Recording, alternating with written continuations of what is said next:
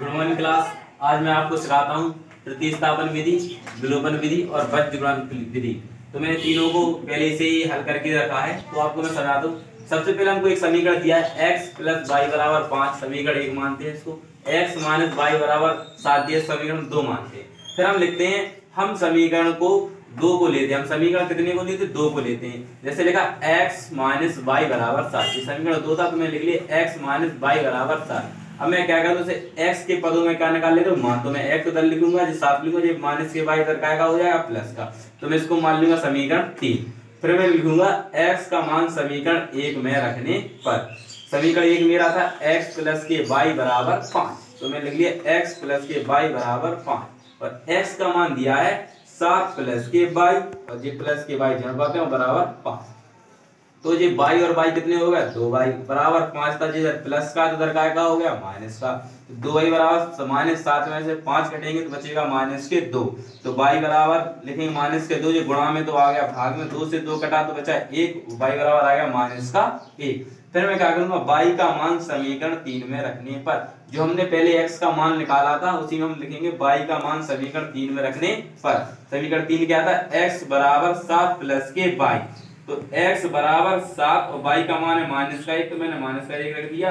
और x सात में से घटा कितना बचा? छह। तो मेरे x का मान कितना आएगा छह। तो मैंने लिख दिया x का मान छह और y का मान माइनस अब यही मैं विलोपन विधि से करता हूँ। विलोपन विधि। विलोपन विधि कैसे करें? समीकरण वही है। x प्लस के y बराबर पाँच समीकरण एक, x माइनस के y बराबर सात समीकरण दो। तो ये डायरेक्ट ही कट रहा है y के पद इसमें तो मैं करूँगा? जोड़ने पर। मैंने किया जोड़ने पर। तो मैंने x x को जोड़ा कितने हो गए दो एक्स बराबर। पाँच और सात को जुड़ा दोगे तो बारह।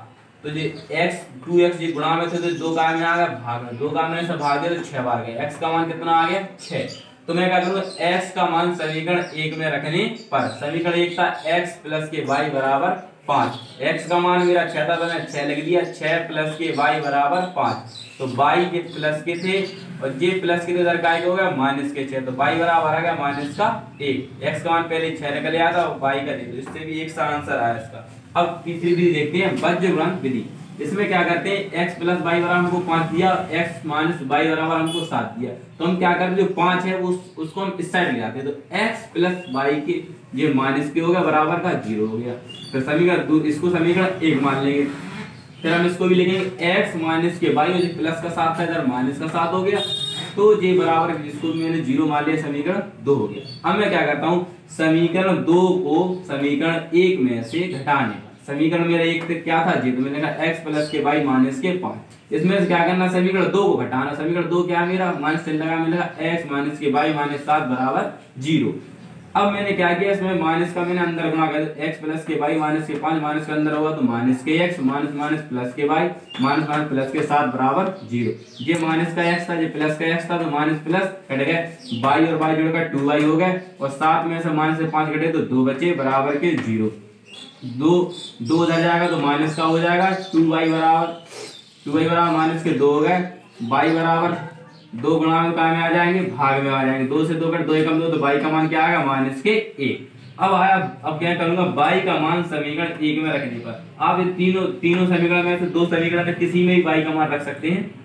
तो मैंने लिखा एक्स प्लस के बाई माइनस के पाँच बराबर ज़ीरो अब बाई का मान माइनस एक था तो मैंने बाई की जगह माइनस का एक लिख दिया। माइनस के पाँच बराबर ज़ीरो। माइनस वहाँ जुड़कर कितने होगा छह। उस साइड का तो प्लस के हो गया तो छह पाँव माइनस बनाएगा ये तीनों विधि।